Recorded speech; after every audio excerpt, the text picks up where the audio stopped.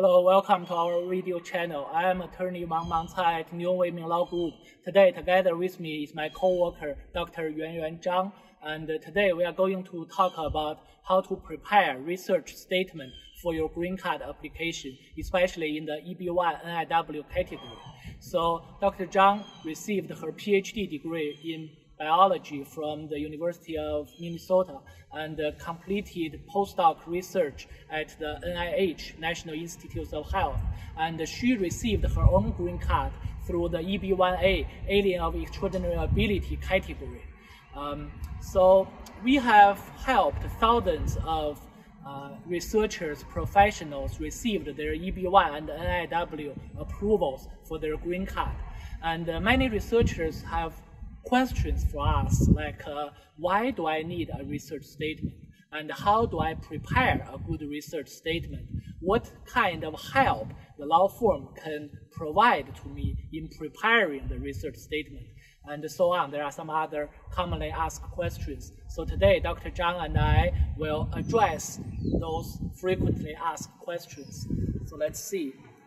Uh, the first question is, uh, what should I include in the research statement? Yeah, the research statement is the primary supporting materials for the lawyer and the supportive team to understand your research. So we would suggest you include your educational background, your work experience, um, your previous publications and citation records, and your previous research achievements, and maybe some other additional materials that helps to establish your qualification for this application. Okay, thank you. So that's a pretty comprehensive list. You mentioned several different parts. Then what do you think, uh, let's say, uh, is the most critical part in the research statement that I should emphasize? Um, I would say the description of your major research project is the most important part, and that is also the part you should put the most time and efforts to work on it. Um, so the idea is that you want to use the layman's word to introduce your major research achievements for other people to understand, um, including the lawyer and the supportive team, as well as the immigration officers. So we would suggest to um, select the most important and most um, impactful research projects to discuss in your research statement.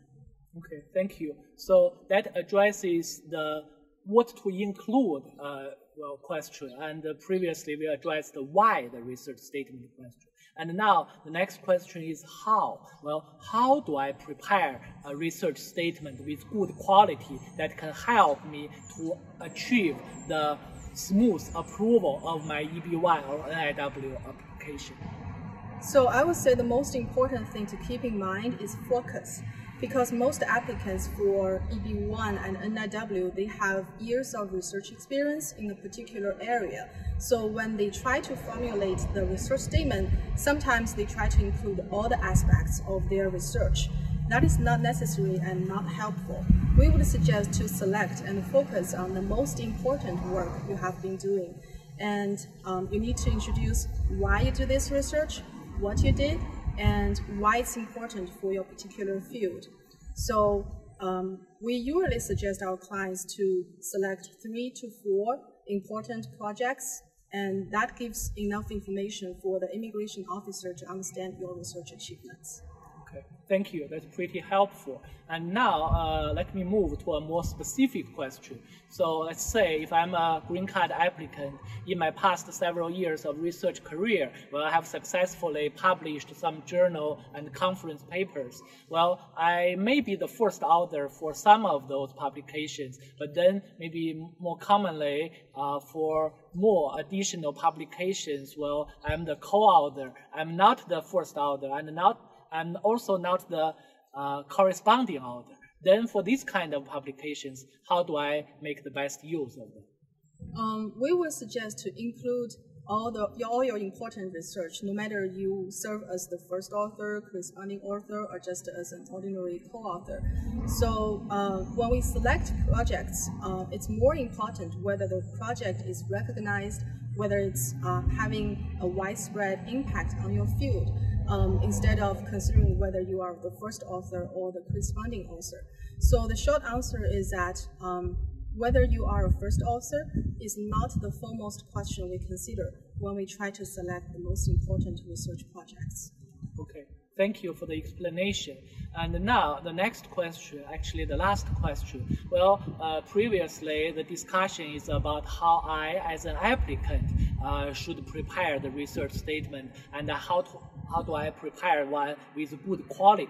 And now uh, how about the law firm? What kind of help can I expect from the law firm? Specifically, well, I have heard that New Weiming Law Group uh, consists of multiple uh, professionals with good experience, including personal experience in receiving EB1 NIW green cards, and also uh, with PhD degree in science, in STEM majors, and postdoc research experience. So that's quite impressive. But then specifically, what kind of help can I expect to receive from New Ming Law Group in preparing my research statement? So after you sign the contract with us, before you started to prepare the research statement, we will have a brief discussion with you about your background and your research. So sometimes the applicant change their major. Sometimes what they learn at school is different from what they are doing at work. So in these cases, we will analyze your uh, background and provide specific suggestions for you to write a good research statement. And after we started the process um, of preparing your materials, we will provide you a sample research statement that is formulated based on thousands of applications we prepared and their specific feedback from the USCIS. So following this sample research statement, you will have a very detailed instruction on how to write a research statement. It's a good, uh, good point to start.